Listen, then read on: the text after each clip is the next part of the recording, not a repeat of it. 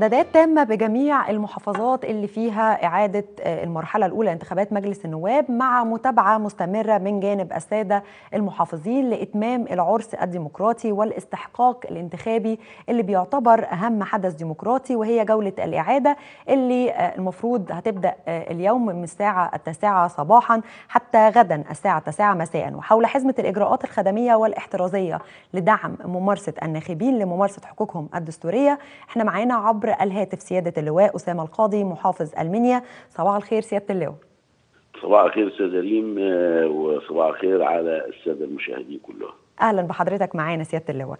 يعني أهلا. بداية خليني أسأل حضرتك عن بداية الإعادة في محافظة المنيا يعني بين كام مرشح وعلى كام مقعد؟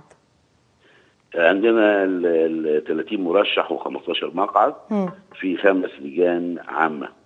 م. طيب عدد اللجان الفرعية إحنا عندنا 474 مقر انتخابي م. داخلهم 1021 لجنة فرعية م. المواطنين من لهم حق الادلاء بأصواتهم 3 مليون 326 مليون 3 مليون 326 ألف نسمة 3 مليون.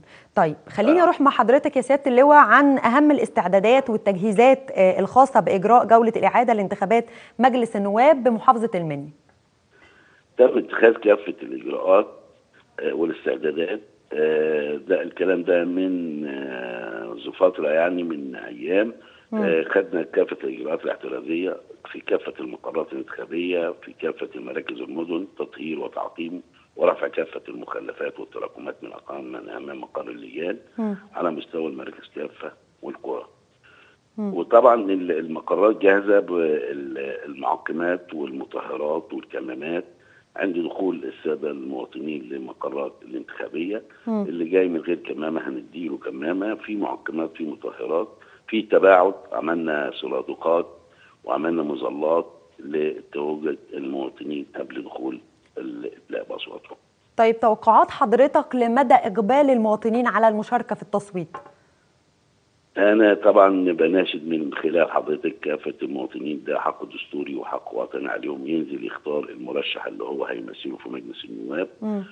فطبعا إن شاء الله هيبقى في إقبال وكله هينزل وإحنا بنناشدهم انهم ينزلوا ويدوا باصواتهم يختار المرشح اللي هو عايزه قدامه 30 مرشح في على مستوى المحافظات فينزل يختار المرشح اللي هو هيمثله. طيب مع دخول يا سياده اللواء يعني مصر في الموجة الثانية من فيروس وجائحة كورونا. يعني الناس ممكن تكون شوية قلقانة وخايفة إن هي تنزل وفي ناس ما عندهاش فكرة إن إحنا خلاص بقينا نتكاسل في أبسط الإجراءات الاحترازية والوقائية وهي لبس الكمامة. تعامل إزاي المحافظة مع الناس اللي مش مهتمة إن هي تلبس كمامة وطبعا ده هيكون ممنوع دخولهم أصلا؟ طبعا ممنوع أي دخول أي مواطن للمقرات الانتخابية بدون كمامة. إحنا مجهزين كمامات برضه للمواطن اللي جاي بدون كمامة. بس أنا الحمد لله أنا شايف في وعي بين مواطني المنيا إن هم كله يعني بيرتدي كمامة. إحنا في متابعة يومية ودورية آه على كافة المواطنين في اللي بير اللي بيركبوا المواصلات اللي بيرتادوا المطاعم والكافيهات. الكلام ده إحنا حملات يومية وبننصحهم وبنوعيهم وبنلقنهم إن لازم اتخاذ الاجراءات دي الإجراءات الاحترازية خوفا على على نفسه وعلى أهله وعلى أخواته وعلى أسرته. الحمد لله يعني المحافظة لا تقل ولا تمل في الموضوع ده وهم عندهم وعي. وإن شاء الله ربنا يستر يعني إن شاء الله. يسمعوا كل التعليمات دي والنصائح دي. إن شاء الله يا سيادة اللواء. أخيرا سيادة اللواء يعني هل هناك توصيات خاصة للتعامل مع المواطنين ذوي الاحتياجات الخاصة؟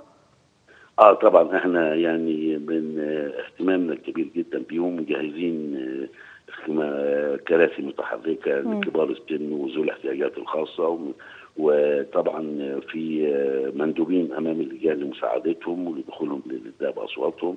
الحمد لله يعني كل الأمور جاهزة إن شاء الله والعرس الديمقراطي يكتمل في كافه المحافظات بإذن الله. إن شاء الله سيادة اللواء كل التحية والتقدير لحضرتك بشكرك جدا سيادة اللواء أسامة القاضي محافظ المنيا بشكرك شكرا جزيلا على هذه المداخلة.